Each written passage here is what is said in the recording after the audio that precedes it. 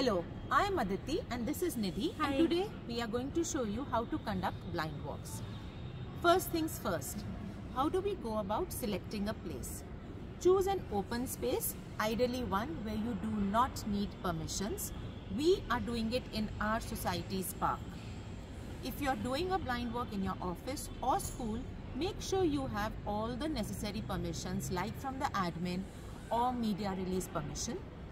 Choose a space that is open, that has some obstacles to make the experience interesting, but strictly no steps, no stairs.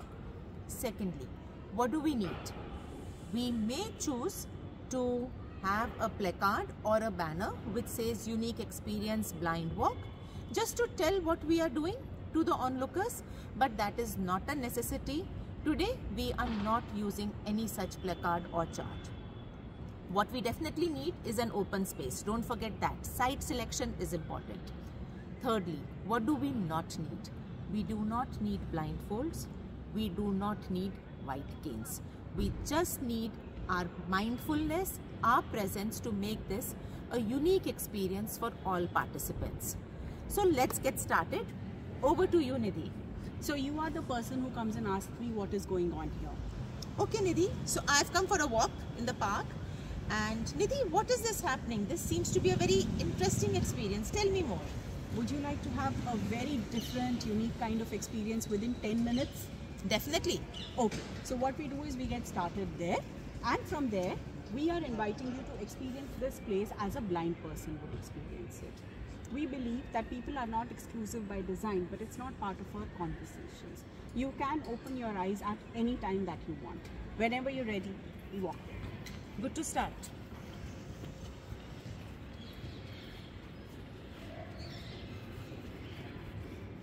The blind walk is conducted in three formats. In the first format is unaccompanied. You have to walk from here to there. That's it, just that really, on your own. I will only stop you if you're going to hurt yourself, if you're going way off course. Those are the only times. In the second format, I will give you audio guide and you have to go from this end of the railing to the other side, half of this circle. Got it. And in the third format, I will guide you with movement. Okay. Okay, so close your eyes and like I said, at any time during this experience, you can open your eyes. Start. If you are the volunteer, also pay attention to the ground.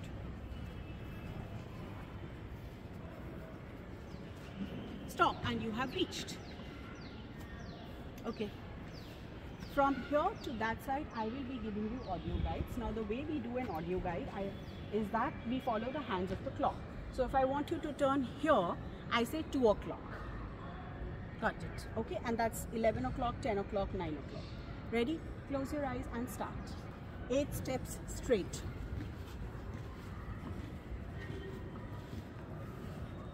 Okay, 10 o'clock. 4 steps.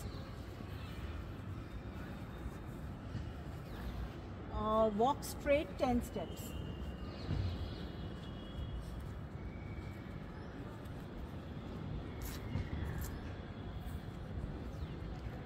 And you have reached your destination. In the third format, this is what you do if you have to help somebody on the road. You stand on the non-dominant side of the person. Are you right-handed or left-handed? Right-handed. So I stand to your left. I walk one step ahead of you like this and you hold me at the elbow here and I hold the elbow at a right angle. If I'm walking too fast, just use this to tug. So we walk at your pace. I will also announce all steps in advance and how many steps there are and how high they are. We don't have them here and I will again guide direction by 1 o'clock, 2 o'clock, 3 o'clock. We now have to make it back to where we started. Ready? Okay. Close your eyes.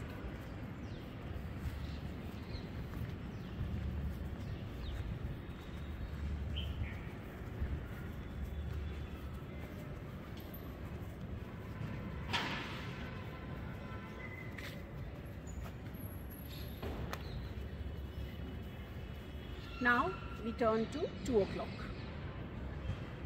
and then we walk straight.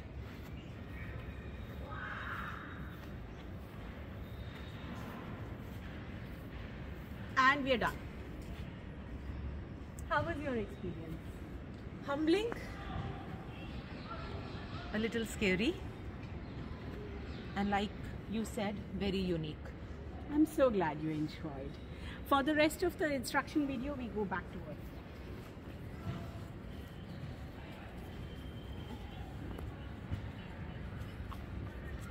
When you introduce the event to somebody, you will use um, maybe different words compared to what we do or what we used over here, but some points are necessary. Firstly, do remember to tell them that this event takes only 10 minutes. It is being conducted by volunteers of an NGO called Esha. There are no monetary exchanges here, there are no charges, there are no tips. The participants are free to open their eyes anytime during their experience. We are not very active on social media, so do not promise that the photos or images or videos taken will be posted on social media. However, do inform that they may be used. If used, we do not tag individuals on social media. Remember that this activity is always done in pairs and to make this a truly fulfilling experience, encourage the team to swap or exchange positions. So the guide or the volunteer will become the walker in the second uh, walk and the walker will become the part, the guide or the volunteer so that they both get to experience both the perspectives. And now we come to the second most important part of the activity, which is the feedback. After they have finished walking, ask them, how was your experience? At this time, ideally put the video away. We may take some videos, but generally this is a point at which we allow the person to remain in the moment and share with us how they felt. Remember, as a volunteer, this may be your fifth or seventh or 25th blind walk. Most probably, you will yourself experience aha moments in each and every walk that you volunteer for. But maybe you start to feel a little jaded. But remember, for the participant, this is their first ever experience and they are going to feel a little shaken, a little humbled, something would have shifted inside them. They would have had their aha moment.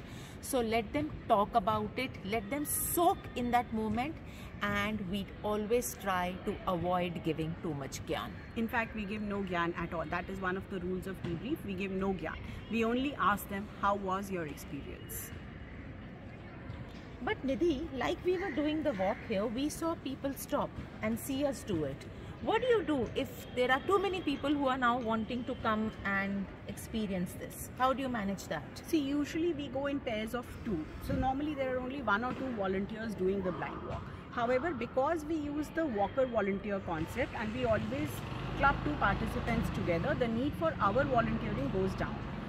Uh, there is always a line of about two or three people whenever we conduct a blind walk. Some of the things you can do is you can choose multiple tracks within the same location. For example, in this park, one would follow the track that we followed. I might encourage another team to follow that track over there along the borders of the park so that more people are able to go through the experience at the same time. Uh, sometimes we estimate how long each one is taking and we encourage people to plan their time accordingly. So some, those are some of the things we do. Perfect. After doing one round, it is time to exchange positions. Yes. So do I become the volunteer now and do I ask you to go to the starting point? We can do it from here where you give us the audio guide. Okay, so close your eyes. I will give you audio instructions and if I need you to change your position, we will follow the hands of the clock. Uh, start five steps straight.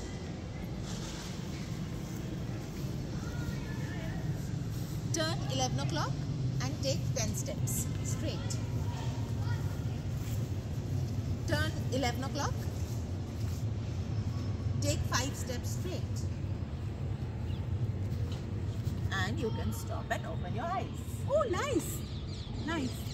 Now we go to the third phase of the blind walk where the volunteer gives audio instructions and also hold the encourages the participant to hold here Sorry, I should have asked you which is your dominant hand. I'm right-handed. So then the volunteer comes on the non-dominant side.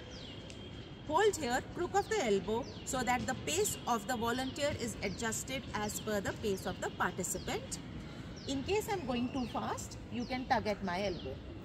I will also give audio instructions and we will go back to our starting point. Eyes closed and we will start. We continue going straight.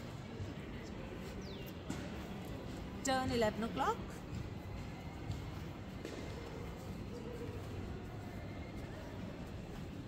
We are now crossing the area which had the barricade and the fences. Turn 12 o'clock and we go straight. And we stop. You can open your eyes. Congratulations, you've finished the blind walk. Thank you. Thank you.